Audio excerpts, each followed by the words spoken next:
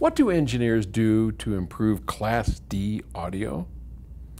Diego in Medellin, Colombia, writes to me and he says, Hey, Paul.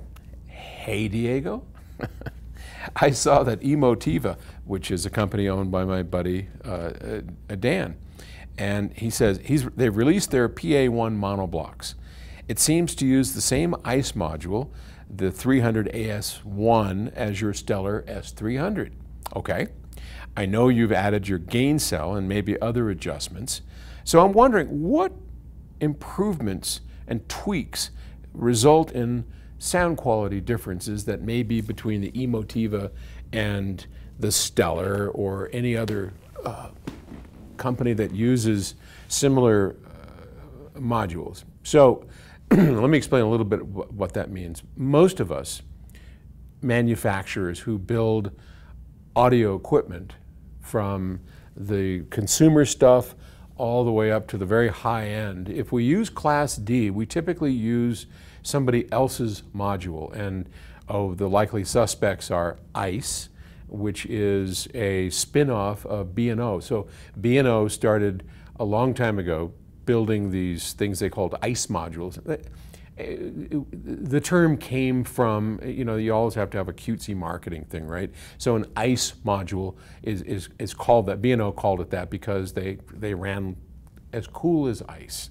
Uh, Class D uh, properly done is eh, 92 to 95% efficient.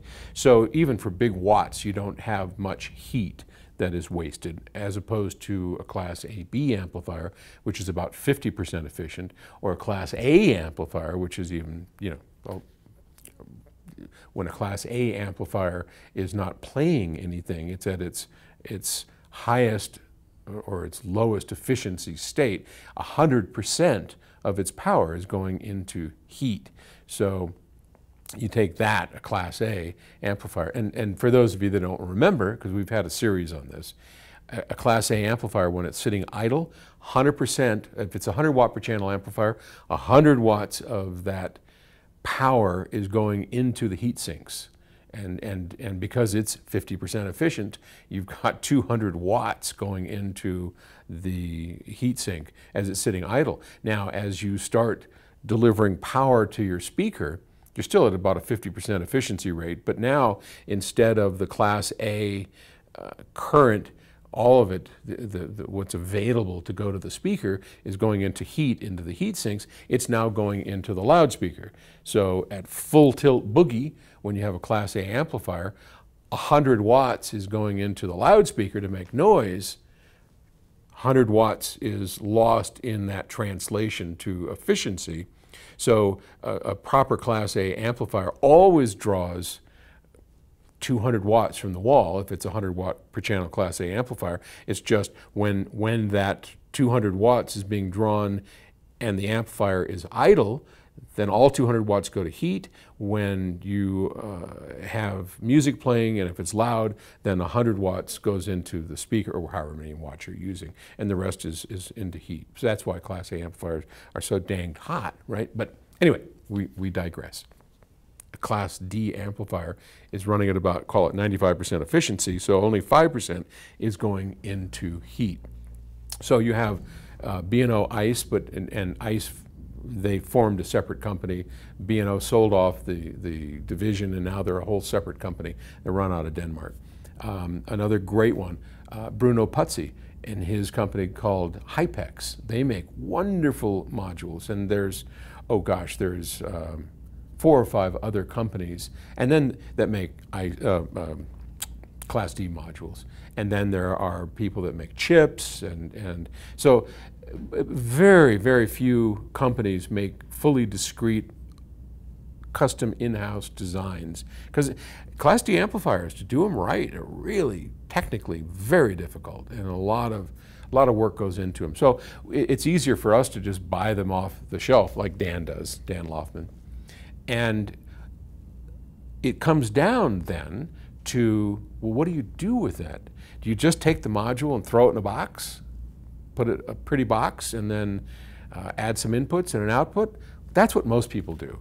And the ICE amps are, are decent sounding. In our opinion, they are the best modules. but they're only a starting point. I don't know what Dan does, and I've never compared it. Dan makes good, good products. I'm not here to debate that. What the answer to your question is what do we do? So we do a lot of stuff. We, we add the, the uh, uh, gain cell in, in a, uh, uh, well, it's not really a gain cell because we don't have variable gain in, in front of our amplifier. It's actually called an analog power cell. It's just a fancy term for a front end that goes in front. So in an amplifier, whether it's a Class A, Class AB, or Class D amplifier, most of the sound qualities of that amplifier come from the input stage and the voltage gain stage, just like a preamp. That's, it's not the output buffer that will uh, have the majority of influence on sound quality. It's the input stage, how you interface to other products, and the actual gain stage. So what we do is when we take that ICE module, that becomes basically the output stage. That gain block provides the watts, the power out of there. And then we work on the input stage. And here we add, uh, now we have our own secret recipe. Well, it's not secret.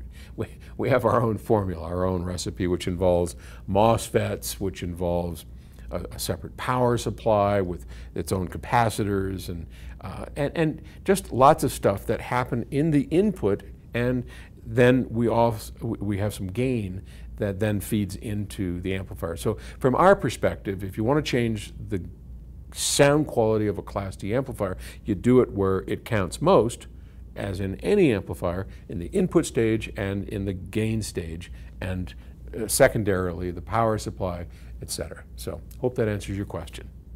Good one. Thanks. Bye.